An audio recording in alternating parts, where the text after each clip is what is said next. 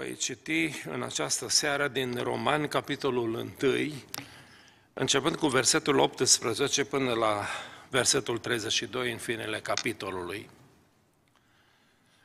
Apostolul Pavel, înainte de a uh, scrie lui uh, Timotei textul din care noi facem studiu biblic în această seară, el a scris în Romani um, versetele acestea care uh, sunt menite să completeze, de fapt, uh, studiul nostru biblic din această seară. Roman, capitolul 1, versetul 18. Mânia lui Dumnezeu se descopere din cer împotriva oricărei necinstiri ale lui Dumnezeu și împotriva oricărei nelegiuire a oamenilor care înnăbușă adevărul nelegiuirea lor. Fiindcă ce se poate cunoaște despre Dumnezeu le este descoperit în ei, căci le-a fost arătat de Dumnezeu. În adevăr, însușirile nevăzute ale Lui, puterea Lui veșnică și Dumnezeirea Lui se văd lămurit de la facerea lumii, când te uiți cu băgare de seamă la ele, în lucrurile făcute de El, așa că nu se pot dezvinovăți. Fiindcă măcar că au cunoscut pe Dumnezeu, nu l-au proslăvit ca Dumnezeu, nici nu i-au mulțumit, ci s-au dedat la gânduri de șarte și inima lor, fără pricepere, s-a întunecat. S-au fălit că sunt înțelepți și au înnebunit și au schimbat slava Dumnezeului nemuritor într-o icoană care seamănă cu omul muritor, păsări, dobitoace cu patru picioare și târătoare. De aceea Dumnezeu i-a lăsat pradă necurăției, să urmeze poftele inimilor lor, așa că își necinstesc singur trupurile, căci au schimbat în minciună adevărul lui Dumnezeu și au slujit și s-au închinat făpturii în locul făcătorului, care este binecuvântat în veci. Amin. Din pricina aceasta Dumnezeu a lăsat în voia unor patim scârboase, căci femeile lor au schimbat întrebuințarea firească a lor în una care este împotriva firii. Tot astfel și bărbații au părăsit întrebuințarea firească a femeii, s-au aprins în poftele lor unii pentru alții, au săvârșit parte bărbătească cu parte bărbătească lucruri scârboase și au primit în ei înșiși plata cuvenită pentru rătăcirea lor. Fiindcă n-au căutat să păstreze pe Dumnezeu în cunoștința lor, Dumnezeu a lăsat în voia minților blestemate ca să facă lucruri neîngăduite. Astfel au ajuns plini de orice fel de nelegiuire, de curvie, de viclenie, de lăcomie, de răutate, plini de pismă, de ucidere, de ceartă, de înșelăciune, de porniri răutăcioase. Sunt șoptitori, bârfitori, urători de Dumnezeu, obraznici, trufași, lăudăroși, născocitori de rele, neascultători de părinți, fără pricepere, călcători de cuvânt, fără dragoste firească, neînduplecați, fără milă. Și măcar că știu hotărârea lui Dumnezeu că cei ce fac asemenea lucruri sunt vrednici de moarte, totuși ei nu numai că le fac, dar și găsesc de buni pe cei ce le fac. Amin. Să ocupăm locurile. Știu că este un pasaj din Scriptură destul de ocolit de noi, pentru că uh, cuvintele astea sunt uh, foarte dure și în foarte multe biserici textul ăsta nu prea se citește. Dar am, am hotărât că în seara asta să-l citesc pentru că, așa cum spuneam, noi suntem într-un studiu biblic despre oamenii vremurilor din urmă și Apostolul Pavel a scris un uh, text pe care noi îl studiem acum din 2 uh, Timotei, uh, capitolul 3, începând cu versetul 1, unde Pavel ne dă din nou o listă a decăderii umane, dacă vreți, o listă a corupției ființei umane în vremurile din urmă. În seara asta eu am intitulat uh, tema pe care o studiem Războiul cultural. Dacă ați observat, cu două săptămâni în urmă, când noi am început studiul ăsta biblic, am vorbit despre semnele venirii Domnului, și un lucru care pe mine m-a șocat foarte mult, deși studiez acum de ani de zile uh, textele astea din Scripturi, este că aproape toate semnele despre care vorbește Domnul, că ele vor marca venirea sa a doua oară, aproape toate semnele, de fapt, sunt uh, faptele noastre, ale oamenilor. Ar fi o mică excepție, să zicem, cu uh, nenorocirile naturale care vin peste noi, nu? Dar dacă ne gândim foarte bine, multe din astea sunt și ele totuși rezultate ale muncii omului. Clima se schimbă pentru că tăiem păduri întregi, mii de hectare de, hectare de păduri. După ce tai pădurile, vin inundațiile, vin alunecările de teren, exploatările de cărbuni, de petrol au dus la cutremure în foarte multe zone din lume și se cunoaște foarte bine uh, uh, mișcarea aceasta, schimbarea aceasta a climei în, în lume. Aproape că uh, începem să vedem mâna omului în, în toate lucrurile. Acum, eu nu dezvolt aici teorii din astea ale conspirației, să spun că, mă rog, nu știu, americanii sau chinezii fac să vină ploaie sau furtună peste Europa sau peste America acum. Unul dintre băieții mei s-a dus la o nuntă în Chicago și a rămas înzepezit, pentru că peste o mie și ceva de avioane n-au mai zburat din, din Chicago datorită furtunii care, care a fost. Nu vreau să dezvolt nicio teorie a conspirației. Nu cred că omul este încă în stare să schimbe natura și să ne comande ploaie chinezii când vor ei. Nu? Uh, încă nu suntem acolo, dar uh, lumea și știința progresează în direcțiile astea. Nu? Am vrea să ploaie când vrem noi, nu e așa, nu când vrea Dumnezeu. Am vrea să schimbăm uh, natura din jurul nostru. Dar încă o dată, aproape toate semnele despre care vorbea Domnul Isus Hristos uh, sunt marcate de intervenția omului. Și în uh, seara aceasta aș vrea să uh,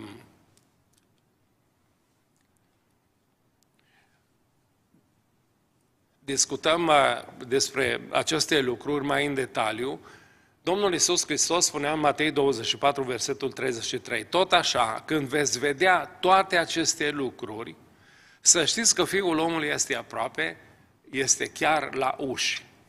Scopul semnelor despre care vorbim este să ne facă să credem că Domnul este aproape și să-L așteptăm. El este chiar la ușă.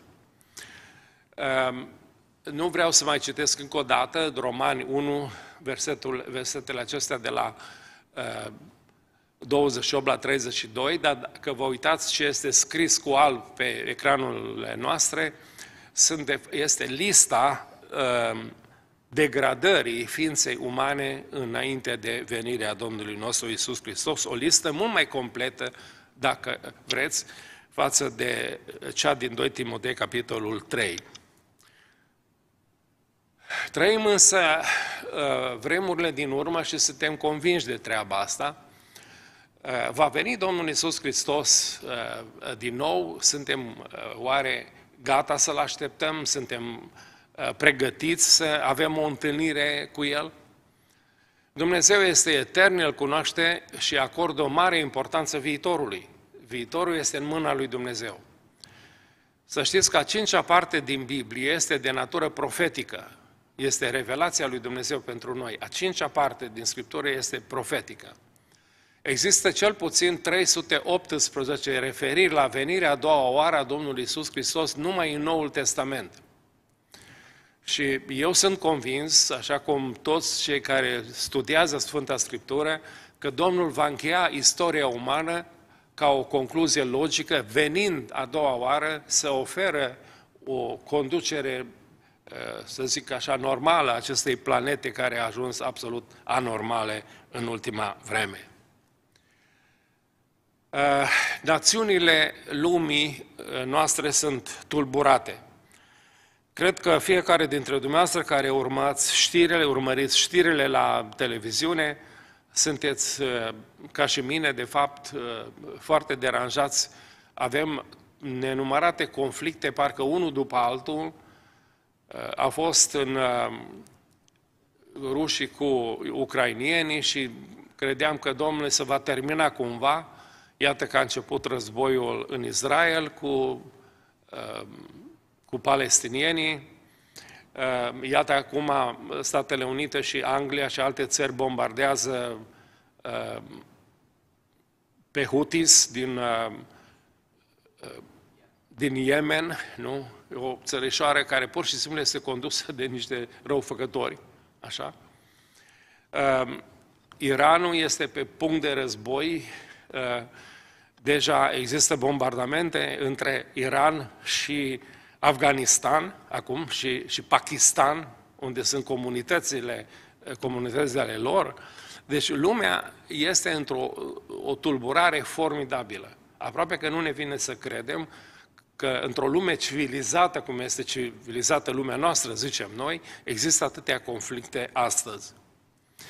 Ă, dacă ar trebui să enumerăm câteva zone ă, de conflict, câteva motive pentru care există tensiunea aceasta mondială, în primul rând este extremismul islamic.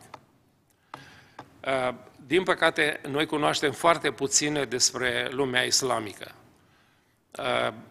soția mea e foarte amatoare de istorie, tot timpul se uită la probleme de istorie și am început să-i mulțumim lui Dumnezeu că nu ne-a ocupat turcii uh, multă vreme și n-am fost pașalâc turcesc niciodată.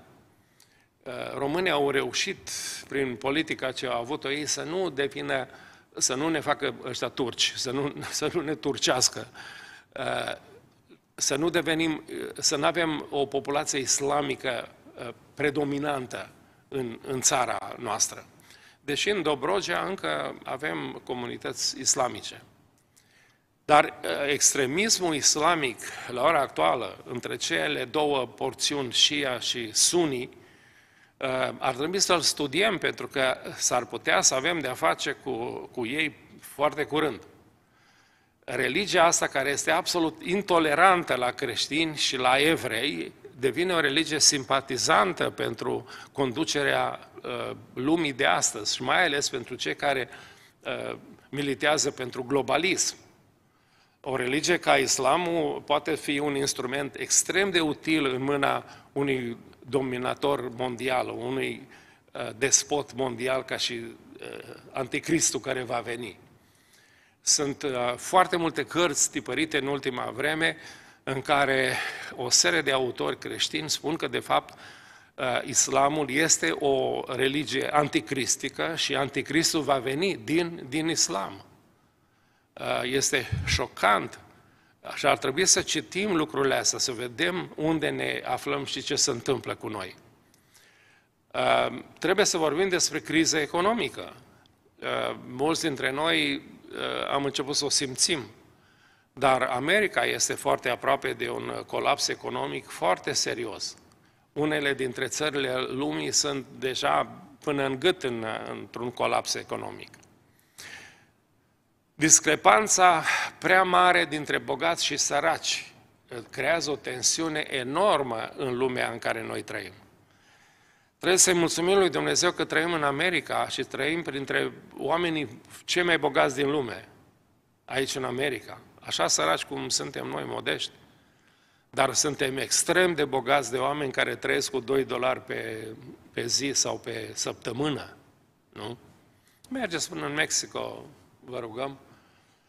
Îmi întrebați pe un servitor de acolo, de la restaurant unde o să mâncați, cât câștigă. Și o să vă spun că câștigă 5 dolari pe zi.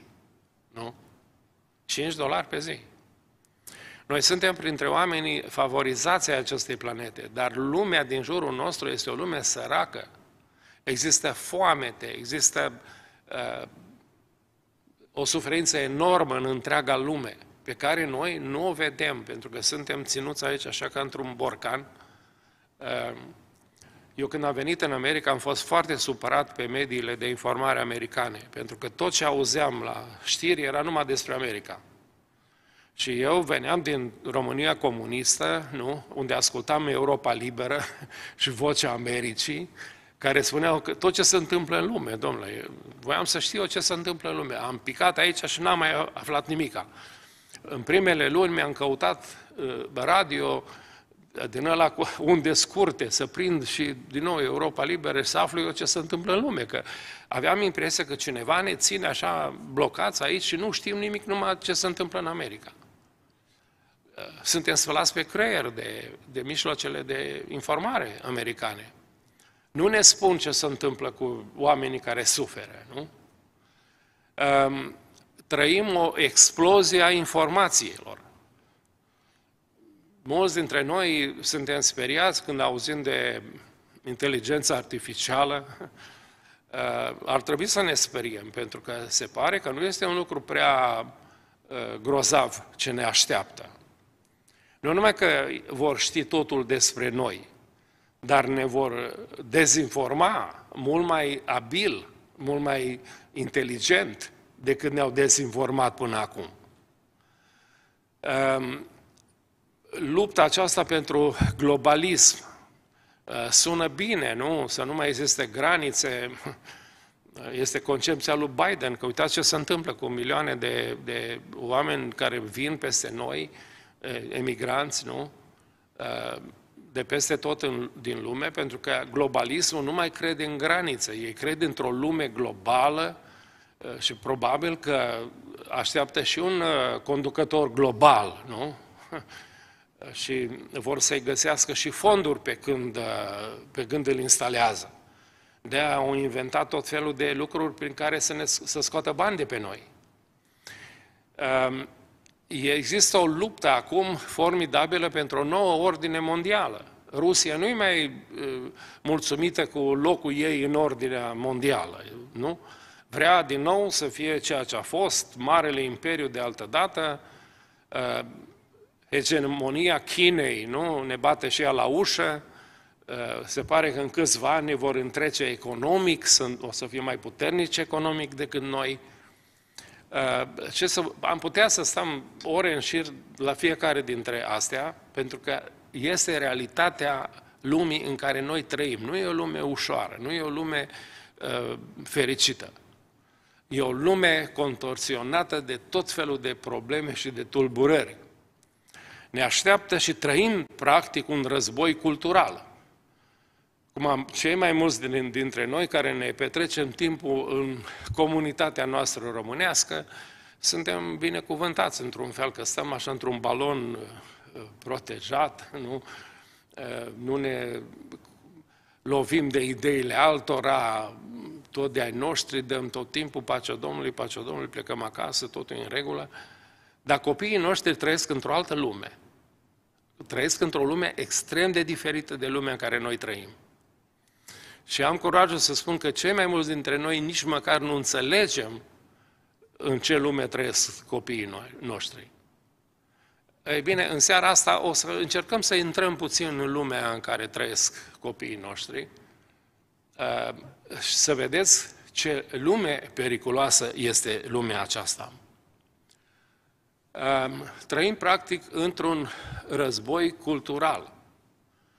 Este un clash of culture ne, ne, ne ciocnim culturile uh, existente în această țară în care noi suntem. Suntem într-un război cultural uh, și, într-un fel, suntem binecuvântați că suntem în comunitățile noastre românești, etnice, pentru că ele ne scutesc de uh, confruntarea directă cu inamicul, să zicem așa. Dar copiii noștri trăiesc pe linia frontului. Războiul acesta cultural, uh, în Matei 24, versetele 9 și 10, Domnul Iisus Hristos spunea foarte clar, atunci vă vor da să fiți chinuiți și vă, vă, vă vor omorâ. Veți fi urâți de toate neamurile pentru numele meu. Atunci mulți vor cădea, se vor vinde unii pe alții și se vor urâ unii pe alții. Să știți că marea apostazie care așteaptă uh, să pună la încercare Biserica lui Hristos se va stolda cu asemenea atitudine față de credința noastră, față de religia noastră. Vom fi vânduți, nu numai de frați, poate, poate de vecini, de cunoștință, de cine. Vor vedea un lucru bun când ne vor da pe mâna autorităților. Uh, haideți să vedem uh, ceva despre războiul ăsta uh, cultural. Apostolul Pavel spune, zice, s-au fălit că sunt înțelepți, dar au nebunit. Războiul ăsta cultural nu vine de la oameni deștepți, nu vine din inteligența umană, ci din prostia și din răutatea umană. Au schimbat slava Dumnezeului nemuritor printr-o icoană care seamănă cu omul muritor. Omul este acum în locul lui Dumnezeu în gândirea și în conștiința uh, societății în care noi trăim. Uh, dar haideți să luăm uh, pe rând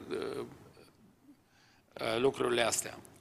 Iată că Apostolul Pavel, o să mai trecem încă o dată prin descrierea acestor oameni de pe vrem, din vremurile din urmă, lista care apare în 2 Timotei, capitolul 1, versetele 1 la 5. Oamenii vor fi iubitori de sine.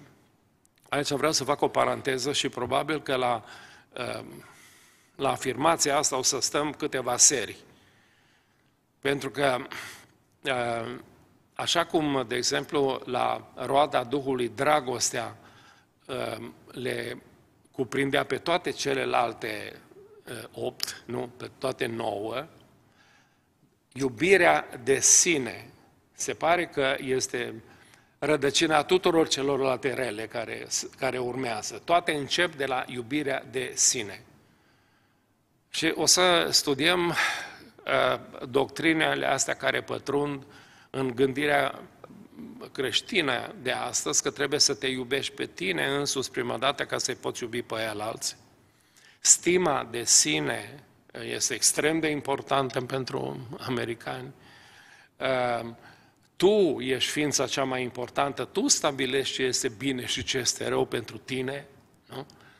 Uh, o să vorbim despre lepădarea de sine despre care vorbește Domnul Iisus, zice, dacă vrei să fii ucenicul meu, leapă-te de, de sine, ia crucea și urmează-mă. Deci de aici se nasc o serie de subiecte care mie mi se pare extrem de importante. Să nu mai vorbesc că porunca Mântuitorului este să-L iubești pe aproapele tău ca pe tine însuți.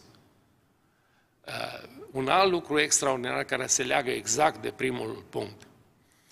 Iubitori de bani, lăudăroși, trufași, hulitori, neascultători de părinți, fără dragoste firească, neînduplecați, clevetitori, um, neînfrânați, neîmblânziți, neiubitori de bine, vânzători, obraznici, îngânfați, iubitori de plăceri, neiubitori de Dumnezeu, formaliști în religia lor, nu? Pentru că zice, tăgăduindu-i puterea, fără evlavie, tăgăduindu-i puterea evlaviei, negând puterea evlaviei, oameni formaliști în religie.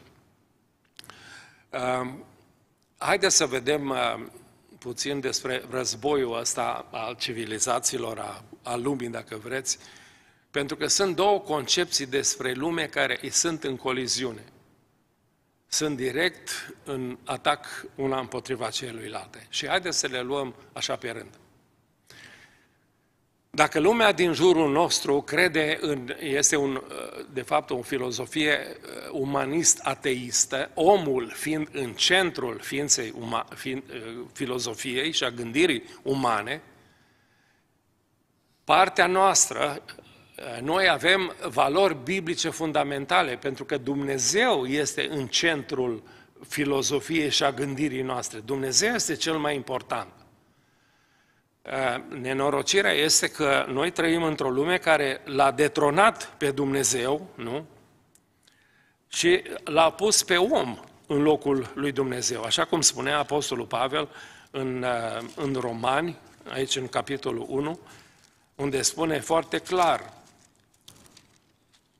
uh, l-au dat jos pe Dumnezeu, deși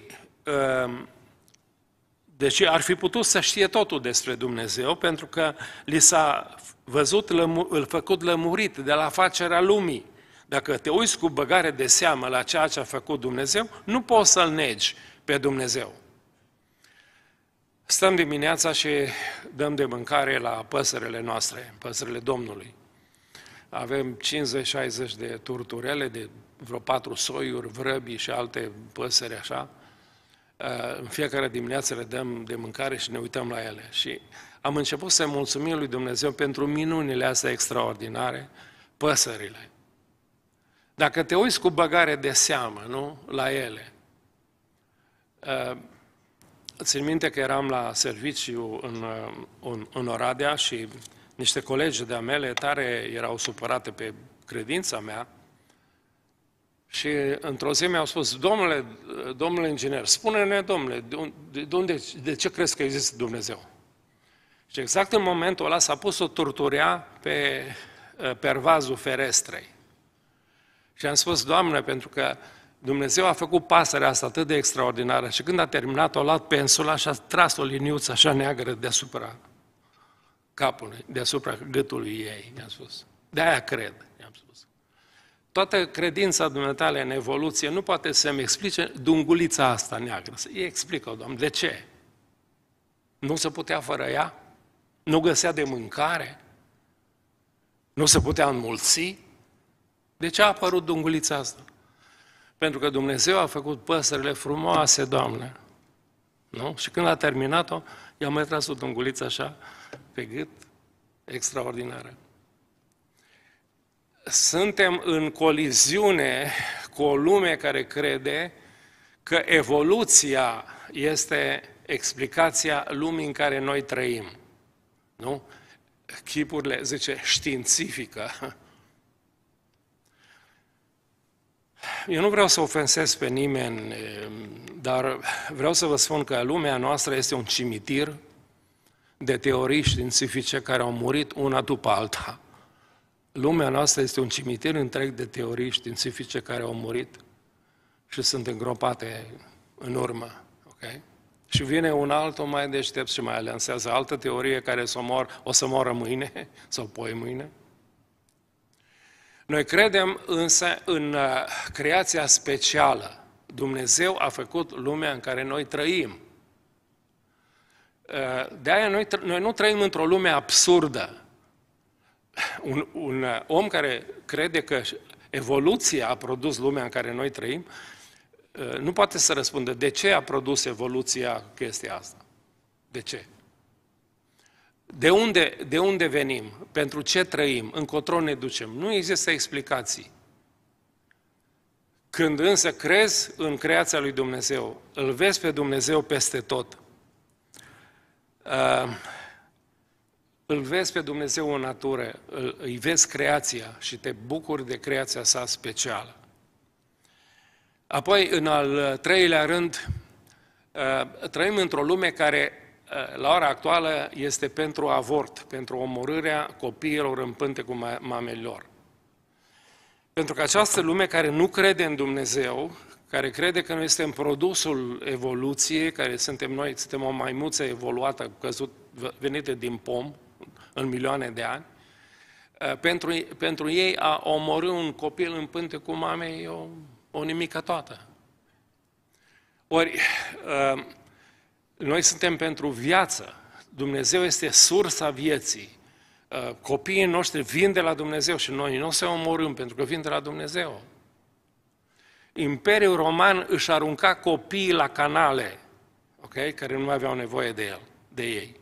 Știți ce au făcut primii creștini în, în, în Roma? Îi culegeau pe acești copii, aruncați de părinții lor, i-au crescut și au făcut creștini din ei. Ok? Lumea în care noi trăim astăzi uh, luptă pentru drepturile homosexualilor, pentru drepturile sodomiților. Uh, Uitați-vă în Scriptură, e plină Scriptura de porunci de ale lui Dumnezeu care interzic categoric păcatul ăsta. Nu numai că uh, oamenii aceștia nu cred în Scriptură, dar au modificat până și Scriptura și au făcut Biblia lor din care au scos toate textele care ar fi deranjat, nu? Bineînțeles că unul dintre texte care îi supără enorm de mult este sunt versetele astea, 26, 27 din Romani 1. De aceea, din pricina asta, Dumnezeu a lăsat în voie unor patini scârboase, căci femeile lor au schimbat întrebuințarea firească a lor într-una care este împotriva firii.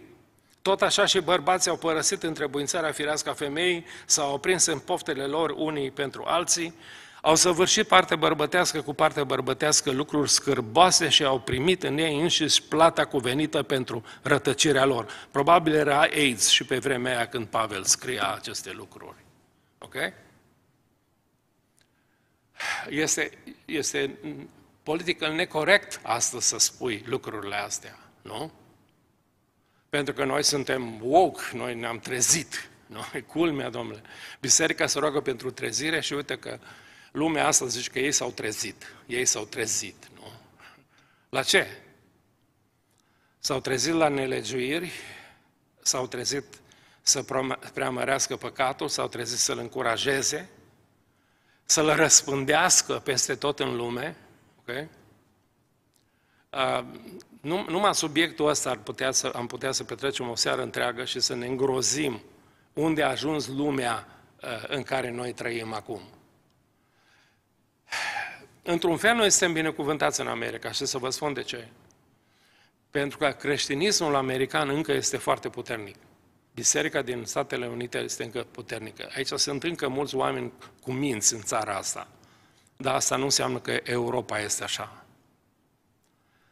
Ascultați pe fratele Terheș, care este un, uh, uh, un român de-a nostru credincios, care este în Parlamentul European. Să vă spună el ce se întâmplă în Parlamentul, Parlamentul European. Nu numai că senatori și, eu știu, congresmeni europeni, bărbați vin îmbrăcați femei cu tocuri înalte la, la plenarele Europei, la conducerea Europei, nu? Dar promovează legi care încurajează uh, toate mișcările astea sodomite și le promovează la nivel european. Um, de obicei, lumea din jurul nostru este politic de stânga politica, uh, politica de stânga, pe când creștinii adevărați, cei care cred în existența lui Dumnezeu, uh, sunt politic de dreapta. De aceea când auziți stânga și dreapta, nu sunt numai două idei politice, sunt două curente majore care se bat cap în cap astăzi în lumea în care noi trăim. Uh, ei vor guvern mai mare și libertate mai puțină. Nu? Guvern cât mai mare, control cât mai puternic, pentru că întotdeauna stânga, care a produs în ultima instanță comunismul, nu? Așa, vrea guvern uh, mare și control total asupra populației. Noi, ca și creștini, vrem guvern mai mic și libertate mai mare. Vrem să ne lase în pace, să ne ducem viața cum știm noi, uh, și să nu se amestece în toate uh, treburile noastre guvernul. Um, în al, altul rând este că avem de-a face cu un liberalism anticreștin militant. Deci nu că ei sunt uh, împotriva noastră a creștinilor de atac din gură, nu. Ne atacă toate mediile de informare, Uh, televiziunile, canalele de știri puse în slujba acestei filozofii ne atacă de dimineață până seara.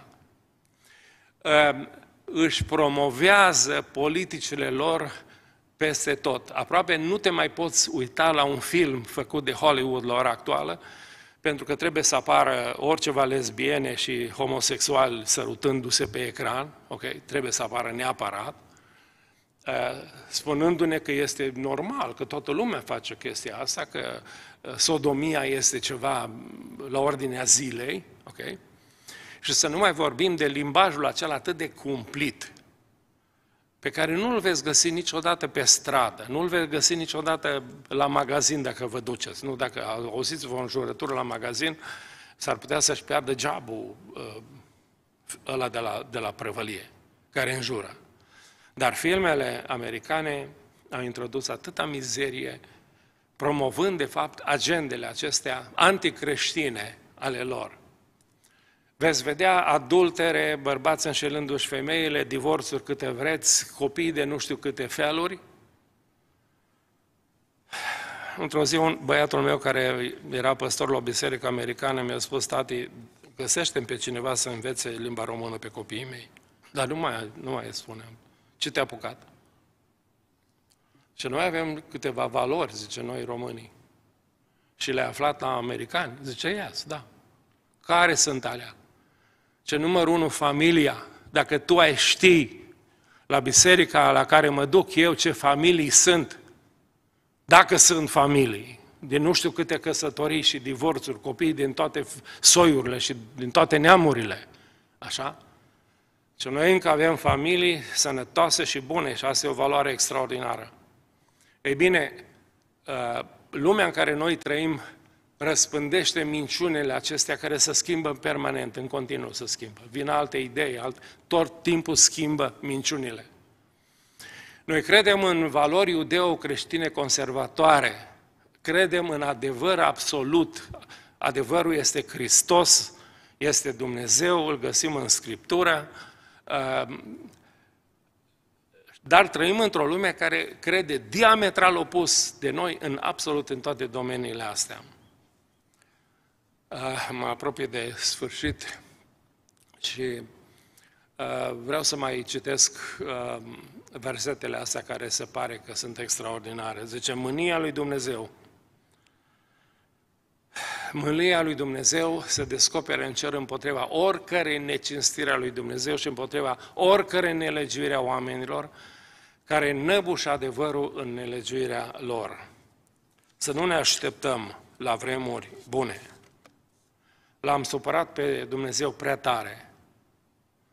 Uh, auzim, când vedem la canalele de știri despre câte o tragedie, câte o nenorocire, eu știu, o catastrofă naturală, uh, auzim tot mai des, zice, planeta să răzbună pe noi. Hm. Oare chiar planeta sau Dumnezeu care a creat planeta? Dar poate și planeta noastră are inteligența ei, care nu este artificială, este de la Dumnezeu. Uh, cred că într-o joi seara am să vă aduc un uh, filmuleț despre apă. Mulți dintre noi credem că știm totul despre apă, nu știm nimic. Se pare că apa este cel mai extraordinar element al planetei noastre și sunt tot mai mulți oameni de știință care încep să creadă că ea este un fel de computer al, al planetei noastre. Știți că apa reacționează la emoțiile noastre? Știți că majoritatea dintre noi bem apă moartă de la robinetele noastre? Nu mai bem apă vie, apă adevărată? Ne o bagă băieții în sticle, ne păcălesc cu etichete, cu promisiuni, nu? Uh, tot îi cumpăr lui nevastă mea câte una, eu știu, apă grozavă, dar zice tot la fel de chioară ca toate celelalte, ca aia de la robinet. Uh, apa are memorie. Știți că Domnul Isus spune că sunt trei pe pământ care mărturisesc și una este apa? Știți asta? Apa mărturisește, martorul lui Dumnezeu. Uh, am să vă aduc filmulețul ăsta pentru că vă, vă va schimba viața. Când vedeți ce minuni fantastice a făcut Dumnezeu în, în lumea în care noi trăim. Și mânia lui Dumnezeu se descopere din cer împotriva necinstirii lui, când nu respectăm legile lui. Ne trimite câte o furtună, câte un cutremur, câte un război, câte o criză economică. Uh, cum scăpăm de una, credem că respirăm și vine alta. Uh, trăim într-o lume frământată de convulsii și pentru vremea aceasta a sfârșitului vreau să vă dau trei sfaturi uh, foarte scurte. Numărul 1. Aveți grijă cum trăiți. Aveți grijă cum trăiți. Uh, trăiți frumos. Trăiți cu adevărat, pentru că vom da socăteală înaintea lui Dumnezeu de cum trăim. Atenție la semne pe care Domnul ne le-a dat. Ele au menirea să ne vorbească și să ne convingă că trăim vremurile din urmă. Și căutați pe Domnul. Căutați pe Domnul când de vreme se poate găsi, așa cum spune un cuvânt al, al Domnului. Să-L căutăm pe Domnul. Haideți să ne ridicăm pentru rugăciune și să o facem în rugăciunea aceasta de încheiere, să-L căutăm pe Domnul.